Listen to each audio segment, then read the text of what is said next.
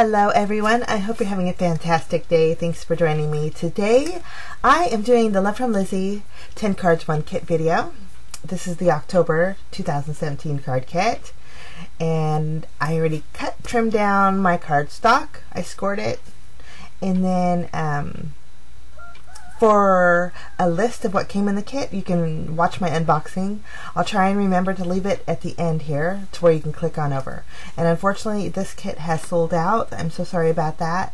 But for those of you who did get this one, or um, want a little bit of inspiration on Halloween cards, I thought this would be perfect. So we're going to jump in. Um, there's in the 6x6 pattern paper, there's these little tags. Well, they weren't tags um, I made them into tags, let's put it that way. I just trimmed them, I fussy cut them out, added some brads, or actually eyelets, and then I threaded the baker's twine through the top. So I have three little tags. Now each of those images, I wanted to be holding um, some bones. this was this kind of cracked me up when I when I made it. I thought, what are you making? but it ended up kind of turning scary into cute, and so that was what my intention was. The kit came with a taupe colored chameleon pen, so I just colored them in and fussy cut those images out. I have a hand, a uh, tibia, a femur. Looks more like a femur to me. And then um, a foot. So once I have those cut out, here's where I'm going in the mouth of the alligator and I thought it would be fun to add one of those bones as if he was um, as if he caught an, an arm or leg or hand. And so um, plus it added a lot of dimension to a somewhat plain card. So that was my theory behind this but I thought it was very funny. So I added the bones to the tags so that you got the snake holding the foot and then you have the claw I guess it's the hot claw holding the hand.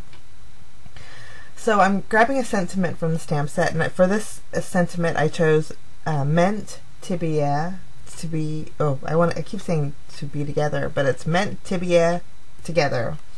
So kind of real fun, a real punny, I should say.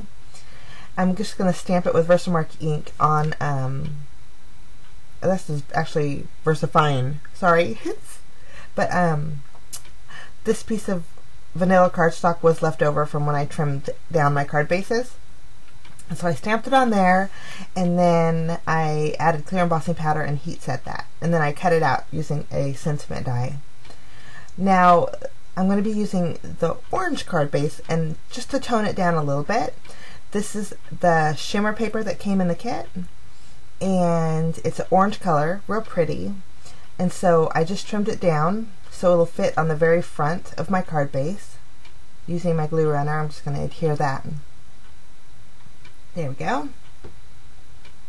Now I'm taking this diamond shaped pattern paper and I'm going to place it on the card at an angle. And then I'm just going to figure out my placement. I am going to pop up each of those tags with some foam tape and I'm going to flip those that baker's twine behind it and then I'm just going to secure it to this panel here with some tape some scotch tape. And I saved those little ends because on the end of the sentiment I wrapped some more baker's twine around it just to give it a little bit of interest. But I'm going to place this pan I, I added fun foam behind it to lift it up and then I added it to my card base. I popped up my sentiment as well. Added a little bit of Spectrum Noir shimmer to each of those bones. And here you can see that baker's twine on the sentiment. But that's card number one. Okay, now moving on to card number two. This piece of vellum here. I love this little bottle. Um, I added, I'm using my tape runner and adding it to a piece of white cardstock. It's going to give it stability and it's going to take away the sheerness of the vellum. So I'm just going to fussy cut that out and place it aside. Now in this card I lost some footage. Um, I wasn't, I, did, I guess I didn't hit the record button. But um, here I'm taking the inside piece of this vellum and I, I cut it out. So we have the two vellum uh, elements. And then I wanted a little piece of newspaper too. So I'm going to cut out a strip of this newspaper. Lovely. Now I'm taking some Vintage Photo Distress ink and I'm just using my finger dauber and I'm going to go around the edges of the paper and then also of the, the jar there, the vellum jar. Um, I also took my scissors and kind of went around the edges of that newspaper to give it a real uh, weathered look. And so those are my images for my card base. Now we need to work on our sentiment. There, there's not very many Halloween sentiments. Well, there isn't any Halloween sentiments in this um, kit. So I had to throw in my own. So I had the spooky from my stash, and so I cut it out with the black pearly colored cardstock, and then also some fun foam. I'm re I'm voiceovering this really early in the morning, so you're gonna hear the roosters going crazy. I'm so sorry about that. I guess if you think about it, kind of could go with the theme of the kit. but I'm taking this webbing, this black, it's real stiff webbing, and I use it a lot in this kit. And I'm just going to use my tape runner and place that in the center of my card. Here's where I lost the footage. I took that Argyle pattern paper and I placed it on the card base and then for my stash, I had some black, um, well, some swirl stamps. I added a few swirly edges to the corners with some VersaFine and um, clear embossing powder. And, and then I placed the vellum right on top of it. But I added my sentiment on a piece of the vanilla cardstock. That was just a leftover strip from when I trimmed down the papers. I added a little bit of shimmer and then a black bow on the bottom using the satin ribbon. And that was it for card number two. But I think that's probably my favorite one. So let's move along to card number three. Now for card number three, I went through my dies and found a, one that had um, a jagged edge. And so this is the postage edge die. I'm not really fond of it, but I thought it would work really perfect with this card. So I cut out a, um, a panel with black cardstock and then I cut out the inside of it with this green shimmer paper here and I distressed the edges with some black soot distress ink. Now I'm going to pop that up with some foam tape and place that right in the center. Lovely. Now again, um, now for my stash, my Halloween is um, probably, um, I don't have very many Halloween stamps or sentiments. I have very minimal. So I was grabbing whatever I had. So I had this trick-or-treat die. And I'm to just, using my glue, glue it on this panel here. Now here's where I took that leftover piece of paper from the previous card and I cut it out and glued it on the end of my black card base there. Now I'm adding glue to the back of this panel and then I'm taking that webbing that came in the kit and this was actually kind of fun. it's and I'm twisting it and turning it so my sentiment, my trick-or-treat sentiment is kind of covered with webbing and it cuts and it stretches really easy so I had I had fun with it So it takes a kind of a boring sentiment and makes it really interesting and it adds a lot of dimension, which is nice. I'm taking the orange shimmer paper and then I'm taking the green shimmer paper that's slightly, I'm cutting out a rectangle slightly larger and then I'm basically crisscrossing them on my card base. I did add some double-sided tape behind my sentiment. This way I know it's going to stick really good. And I'm just going to place that in the center. Um, I use glue dots to secure the spider next to my sentiment. Now, I would suggest you using a glue gun to get it really adhered on there because I'm not sure if this is going to pop up later. But for to add a little shimmer and shine, I used the Midnight Sky Nuvo Crystal Drops, and that's card number three. Okay, now for card number four, I'm taking a, a, white card base, or a white card panel, I should say, that's slightly smaller than my card base. Now I'm going to cut out this or I'm going to trim down this vellum here just so it fits on the very top part of that panel and it leaves me a little bit of an edge. Later on I'm going to go in with some um, of the Love from Lizi peel-offs but I'm adding using my tape runner I'm going to add that to the very top of my panel here and I don't know if it's just my tape runner or not but you can see the tape behind it so um,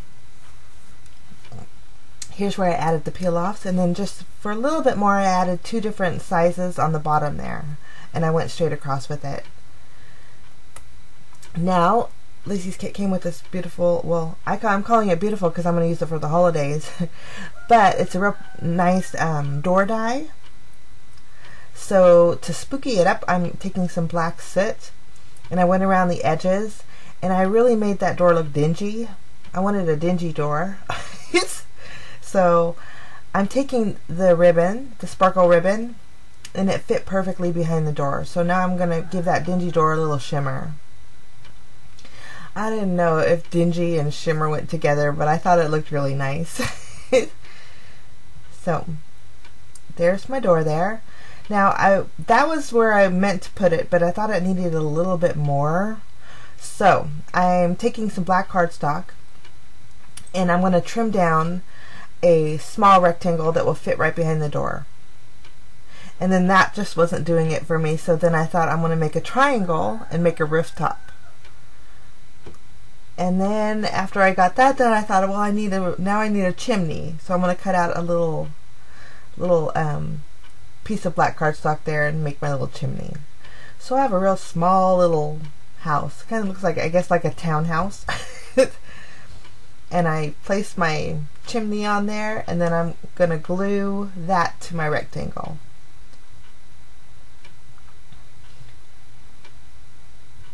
And so now I have a house for my door.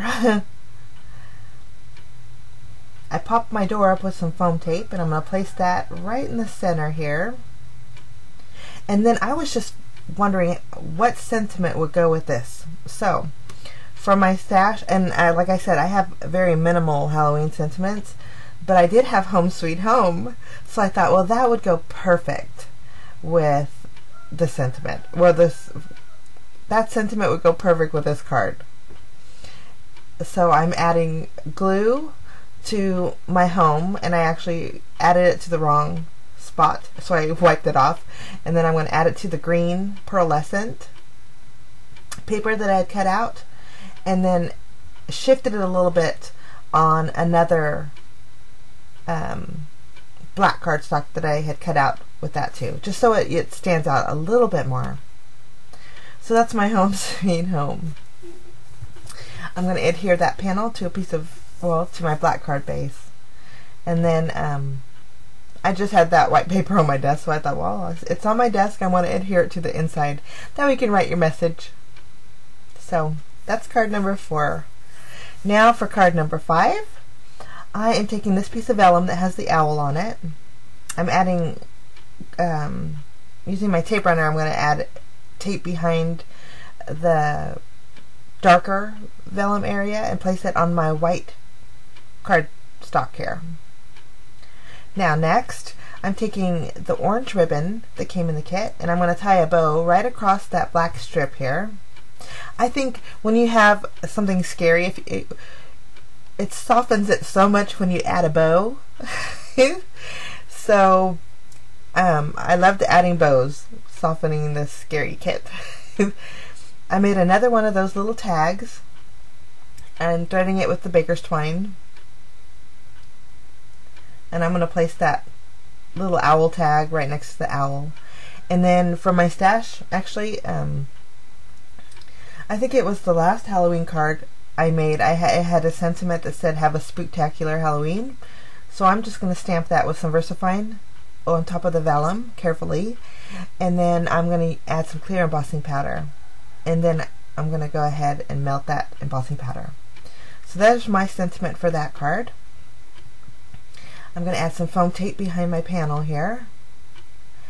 And then for this card, I'm going to be using the orange card base. I'm going to place it right in the center.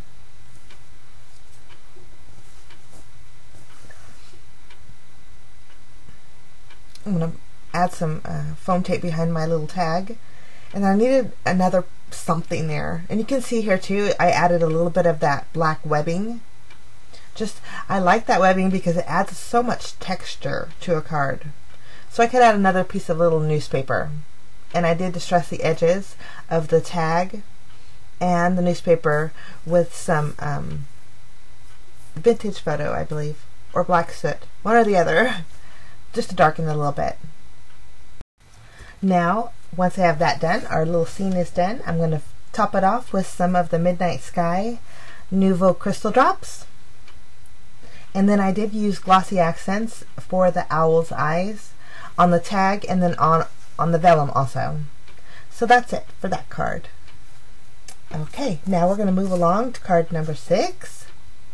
For card number six, I thought we had those googly eyes that we need to make some little mummies. So I'm taking the gauze. There's two different sizes. And so um, I'm just going to take it and I'm going to cut it all into about the same size strips.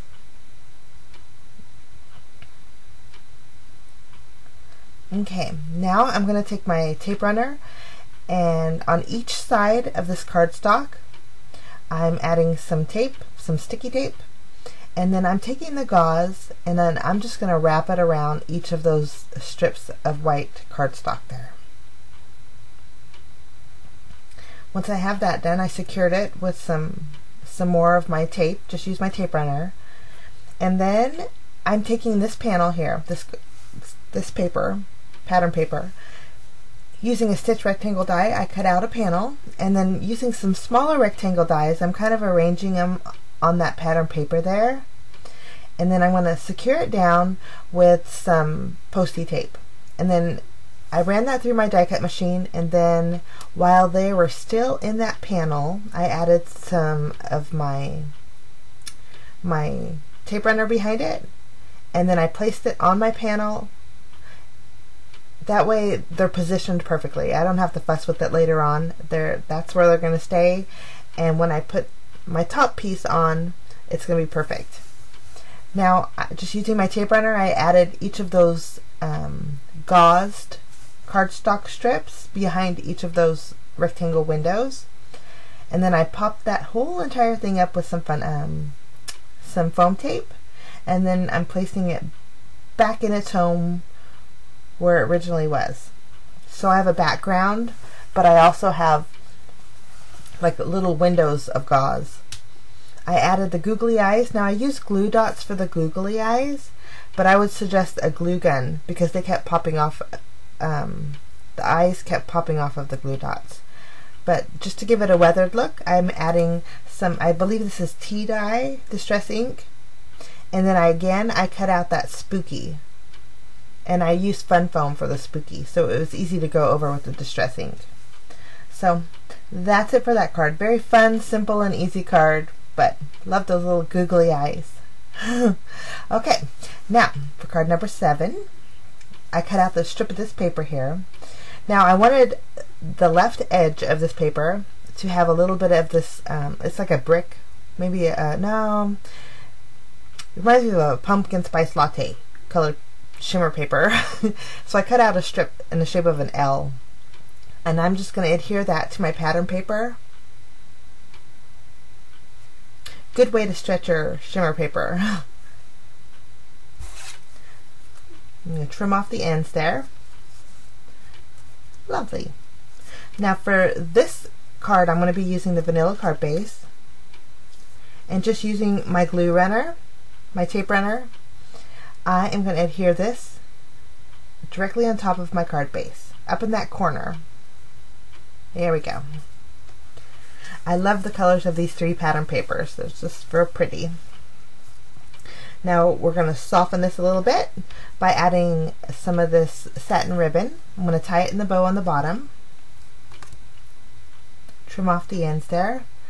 Now taking the larger tags that came in a 12 by 12 sheet, well, I'm calling them tags, but they're kind of really not tags. But I'm taking several of them. I'm actually taking three of them. And uh, what I'm going to do is layer them together. So the first tag here with the crocodile has the black border edge. and then I took the one with the crow and cut out up to the um, the domed part edge and then I distressed it using some vintage photo what I'm going to do is pop that up and place that on the very first one and then I'm going in with this next one. Now I'm going to cut out the inner circle of that one. So I don't want any of the orange trim around it. I was going to use the snake and then change my mind so I'm going to use the owl. So now I have the inside part here. I decided to trim out that owl and he was really easy to fussy cut out.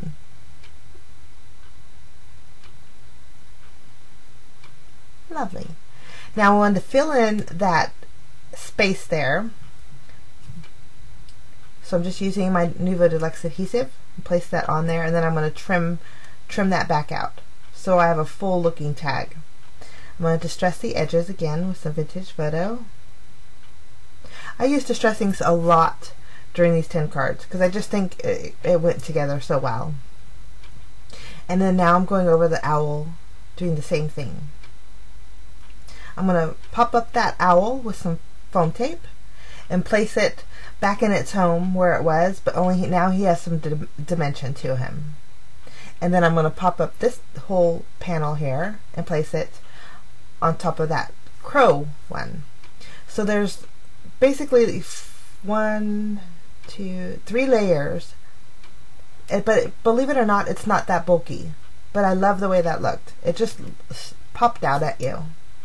Now to add a little bit of texture on my card, I'm adding some more of that black webbing. Just using my glue runner, I'm going to tape it to the right side of this little panel. I'm going to give it a little haircut and place that on my card base. And that's it for that card. Okay, now we're going to move along to card number eight. Now card number eight, let's see. I'm going to cut out a little scene here. So I'm using the green shimmer paper and I'm going to cut out two like mini hillsides. Lovely. I'm going to go in with some black soot distress ink and go over the tops and the edges of my little hillside and then later I did go cut out a small rectangle panel with the black. It's almost like a slate colored shimmer paper. So I cut out a panel, a rectangle with that. Okay, so I have that there. And then I cut out my rectangle. Now, I had no more Halloween sentiment, so I had to make my own. I have this alphabet die, or al alphabet die, oh, alphabet stamp set. So I just stamped out the word boo with some uh, Versamark ink and then um, used some white embossing powder and heat set it. So that's my sentiment there. Now I'm using some masking paper and I need a moon on my background. So to go over this uh, shimmer paper, I'm just using some um, Memento Luxe ink. I think this is Wedding Dress. And I created a little moon in the back. Now, to, for this card, I wanted to use the little RIP embellishment and then two of the little coffins in the pattern paper. So, I added the first hillside to my black rectangle paper and then I popped up the second one along with the sentiment. And then I added my little coffins and then my little RIP. I did remove the backing off of that. It's a button, so you don't need to remove the backing off of that. So that's my little scene. Now for the background of my scene, I cut out some of this spiderweb pattern paper. And then I'm going to be using this yellow card base, which was really vivid, bright yellow. So to tone it down a little bit, I'm going over the edges with some black soot distressing. Lovely. Now my intention was to add the spiderweb paper and then my little scene, but it just needed a little pop of color or a pop of brightness. So I added a piece of white cardstock behind that panel and then adhered everything to my card. Oh, and I did add a baker's twine bow. Gotta add the bows. okay, now moving on to card number nine. I have to use this the stamp set. It is it's very pun it's very funny. So I decided to use the skeleton hand and I stamped it all over a piece of white cardstock and then also on a piece a strip of white cardstock. Now I'm going in with a high five, stamping it right below, which I got it too close to the bone. So later on, um, I end up um, stamping the hand again and then stamping it below, just so it looked better. But I stamped the high five all over my white panel. So this it was so funny. Oh my goodness. Okay, now I am going um, over the edges of this panel with some um, antique linen distress oxide ink. Lovely. And then over the edge of that, I'm going to go in with some black soot.